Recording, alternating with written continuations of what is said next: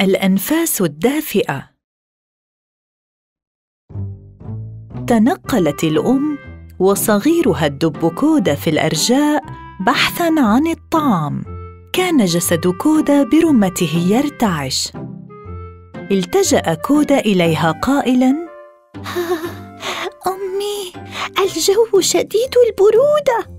بادرت الأم إلى احتضان كودا.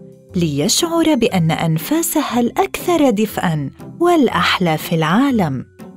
ظهر بوبا الصياد في تلك اللحظة بعيداً عنهما. كانت الأم وكودا يمضيان وقتاً ممتعاً ولم يشعرا بوجود الصياد.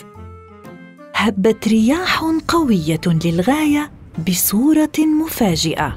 أوقع بوبا بندقيته وحاول التقاط قبعته. أخذت الرياح القبعه في النهاية بعيدا. استدار بوبا عائدا وقد كان متفاجئا للغاية. لم يتمكن من العثور على بندقيته. أخذ يعد خطواته واحدة تلو الأخرى. واحدة اثنتان ثلاث أربع ثمان تسع تسع أوه ماذا بعد؟ اصطدم بوبا بشيء ما ووقع على الثلج. تأتأ من فرط الذهول قائلا. دب قطبي؟ فوجئت الأم إلى حد بعيد كذلك برؤية الصياد وخشيت أن يؤذي كودا. اقترب كودا فيما بعد بصورة مفاجئة من بوبا الذي كان يرتعد خوفا. شعرت الأم بالفزع أيضا وحاولت إيقاف كودا.